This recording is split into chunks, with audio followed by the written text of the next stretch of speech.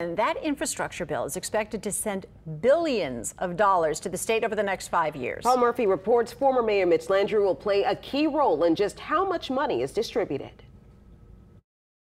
It's the largest investment in roads, bridges, ports, water, and rail in decades. President Joe Biden signed the $1.2 trillion infrastructure bill on the south lawn of the White House. Among those looking on were Louisiana Governor John Bel Edwards, Senator Bill Cassidy, who helped negotiate the final version of the legislation, and New Orleans Mayor LaToya Cantrell. Our infrastructure used to be rated the best in the world.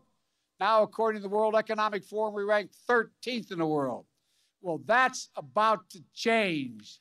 Things are going to turn around in a big way. President Biden asked New Orleans Mayor Mitch Landrieu to join his administration as a senior advisor responsible for coordinating the implementation of the law. He'll have full access to every tool the federal government has to get it done. The White House cited Landrieu's experience as lieutenant governor and mayor and the key role he played in helping New Orleans recover after Hurricane Katrina in 2005.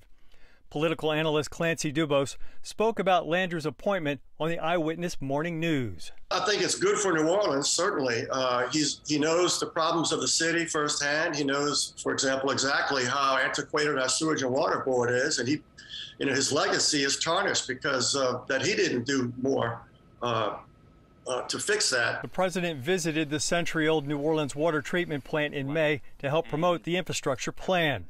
The bill is expected to send about $7.25 billion in guaranteed funding to Louisiana. That includes 4.8 billion for roads, 1 billion for bridges, 470 million for public transportation, 580 million for water systems, and 380 million for other segments like airports, broadband, and electric vehicle charging stations. State Transportation Secretary Shawn Wilson was also at the bill signing ceremony. I've been secretary for five years. Uh, I've been at the department for nearly 15, a little more than 15 years.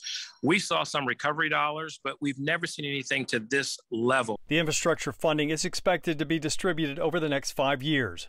Paul Murphy, Eyewitness News.